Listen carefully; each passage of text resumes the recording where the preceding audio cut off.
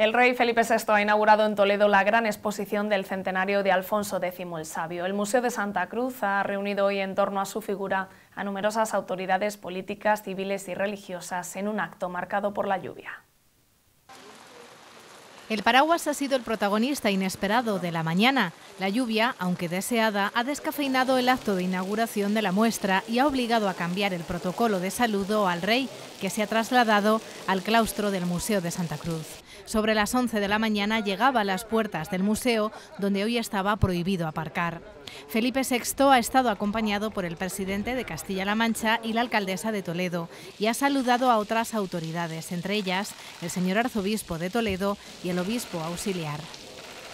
Así hacemos cultura, así hacemos también historia, así hacemos ciudad y así, por supuesto, hacemos algo tan importante que es que los toledanos y todas las personas que quieran venir de toda España y de fuera de España conozcan un poquito más lo que han significado un rey como Alfonso X el Sabio y también la ciudad de Toledo. Durante más de una hora, el monarca ha recorrido la exposición comisariada por Ricardo Izquierdo. Como ya ocurrió con el centenario de Carlos V o del Greco, la Casa Real vuelve a respaldar con su visita la actividad cultural de nuestra ciudad.